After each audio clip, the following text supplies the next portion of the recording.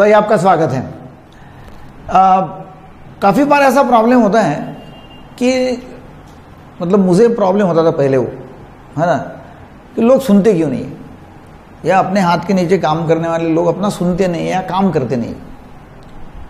फिर हम बोलते हैं, हमको क्या लोग मिले हैं? कैसे मिले हैं?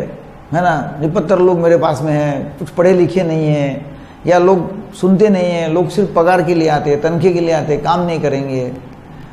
तो ऐसा फिर मेरा दिमाग में चलता था कॉन्वर्जेशन मतलब काम क्यों नहीं करते लोग? क्या करूँ मैं कि वो काम करेंगे? फिर ये जब इसका जब मैं आंसर देखता रहा देखता रहा कि क्या होता है ऐसा तो हरदम ऐसा हम देखते कि भाई बाहर कुछ भी नहीं है, वातावरण में कुछ भी नहीं है, लोगों में कुछ भी नहीं है। मेरे में देखना पड़ेगा कि मैं जो उनको बोलता हूँ, वो उनको लैंड हुआ कि नहीं हुआ?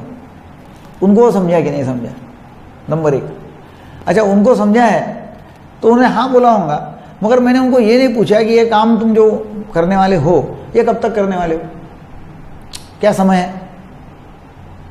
तो वो मैं देखता नहीं कि वो कब करने वाला है। अच्छा उसने बोल दिया कि मैं ये समय तक करना अच्छा कब चालू करने वाले हो क्या? मतलब जब आप ये पूछेंगे उनको कि आप चालू कब करने वाले हो? आप ख़त्म कब करने वाले हो? मुझे कब रिपोर्ट करने वाले हो? तो वही आप जब पूछेंगे कि आप रिपोर्ट कब करेंगे मुझे? ये काम हो गया, नहीं हो गया तो। तो मतलब स्पेसिफिकली आप ये देख रहे हैं कि उसको आपका कहना समझ में आया कि नहीं आया। फिर मैं उसको बोलता हूँ कि तू जरा रिक्रिएट कर, बता बाद में, फिर से, कि तेरे को क्या समझा, कौन सा काम करने वाला है? तू समझा कि नहीं? मैं जो बोला हूँ। फिर वो सम, वो अपने को जब समझाता है कि उसको क्या समझा तो उसमें अपने मालूम पड़ता है कि इसको समझा कि नहीं समझा, क्या गलती कर रहा है।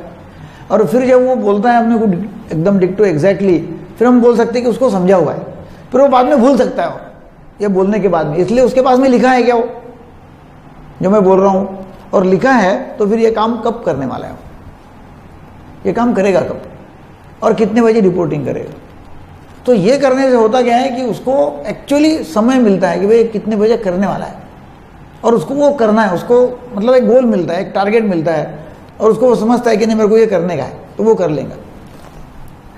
जैसा आ, मैंने मेरे आ, मेरा जो अकाउंटेंट है उसको मैंने बोला कि तू ऐसा कर कि तुमको एक लाख का मैंने एक चेक दिया हुआ है तो एक लाख तू बैंक में डाल दे। सवेरे उसको मैंने ग्यारह बजे बोला, बोले हाँ डालता हूँ। अब मैंने पुरानी आदत से मतलब पुरानी आदत मेरी रहती थी तो मैं बोलता हाँ डाल दे। अभी उसको डाल दे, उसने हाँ बोल दिया। अभी वो एग्जैक्टली कितने बजे डालेगा? वो मैंने उसको ये बोला कि तू जा, मेरे पत्नी से वो एक लाख रुपए ले ले, वो बैंक में जा। और बैंक में खाते में डाल दे, उसने बोला हाँ मैं डाल दूँगा। तो मैं पुरानी आदत से करता था तो मैं उसको डाल दे भाई, और मैं वहीं चुप हो जाता था। और फिर कभी मेरे को जब याद आता दो बजे तीन बजे दोपहर को अरे भाई डाले क्या पैसे? बोलता हाँ जा, जा रहा हूँ ना डालता हूँ ना। या फिर हो सकता है कि तीन चार बजे बोलेंगे कि ये तो भूल गया मैं तो। अभी मैं क्या करता हूँ जब उसको मैंने बोला कि भाई एक लाख रुपए अकाउंटेंट को बोला कि तू डाल दे बैंक में तो मैं उसको पूछता हूँ कि तू मेरे पत्नी से कितने बजे पैसे लेंगा? अभी हाँ बोल रहा है तो कितने बजे बैंक में जाएगा? और वो डालने के बाद में मुझे आके बता कि तूने वो स्लिप मेरे को बताने का है कि वो स्लिप डिपॉजिट की कि नहीं, वो कितने बजे बताएगा तो उसको क्लियर डायरेक्शन मिली और कौन से बैंक में जाएगा? क्योंकि मेरे खाते तीन बैंक में अलग अलग और एक ही बैंक में फिर और दो खाते हैं करंट अकाउंट है सेविंग अकाउंट है, कौन से अकाउंट में डालेगा? मतलब क्लियर इंस्ट्रक्शन काम चालू कब होगा? काम खत्म कब होगा? रिपोर्ट कब करेगा? इस तरह से यदि वो मैं किसको काम बताता हूँ तो वो काम हो जाता है। नहीं तो फिर हम इसमें रहते कि नहीं हो जाएगा। मैं अपने दिमाग में रहता हूँ कि ये काम हो जाएगा। वो अपने दिमाग में रहता है कि ये काम करने का है। कभी तो भी करने का है ना। छः बजे अपनी ड्यूटी खत्म होती है। तो छः बजे के पहले करेंगे ना डालेंगे ना पैसे? उसमें क्या? उसको क्या मालूम कि मेरा चेक लगा हुआ है? आज वो क्लियरिंग में जाएगा कि नहीं जाएगा? और फिर उसमें वो अपने मन से काम करेगा तो जब भी कोई किसको हम काम देते हैं तो हम यदि वो आ, उसके साथ में वो क्रिएट करते हैं तो भाई उसको उसका टाइम लेते हैं उसका वर्ड लेते हैं कि भाई तेरा वर्ड क्या है? तू ये काम कितने बजे करेगा? समझा कि नहीं समझा तो वो काम बराबर होगा। नहीं तो बहुत बार ऐसा हो जाता है कि वो काम करता नहीं है, वो काम अपने दिमाग से करता है, उसको जब लगा तब करता है, और फिर अपने को मालूम पड़ता है कि इसने गलती कर दिया, उसने भलते खाते में डाल दिया तो मेरी चिड़चिड़ हो जाएगी। है ना? मैं चिड़चिड़ा करूँगा तुमने तेरे को बोला था ऐसा, मेरे उसको समझ में आया मुझे कि मैं बराबर बोलता ही नहीं था। क्लियर कट इंस्ट्रक्शन देता ही नहीं था। फिर अच्छा हो गया तो हो गया, नहीं हो गया तो नहीं हो गया, नहीं हो गया तो मैं चिल्लाऊँगा कि काम क्यों नहीं किया? तो इस तरह का ये प्रॉब्लम जो है कि भाई काम करने का तरीका और लोगों से काम करवाने का तरीका, क्योंकि यदि आपको अपना टाइम बचाने का है, या फिर बहुत ज़्यादा काम आपको करने के हैं तो आपको काम डेलीगेट करना ही पड़ेगा।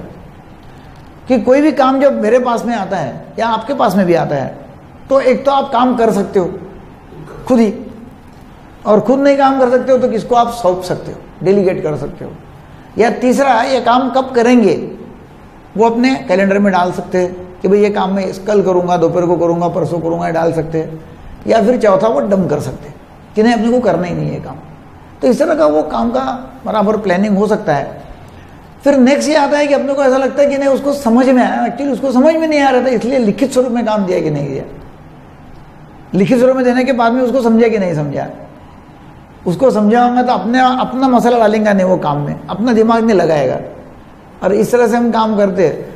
तो डेफिनेटली वो काम हो जाता है और अपने को सक्सेस मिलता है। तो ये मुझे काम के बारे में बताने का था आपको कि भाई काम कैसा करवा के लेना लोगों से और उसमें आपको कहाँ कहाँ अड़चने आ सकती है।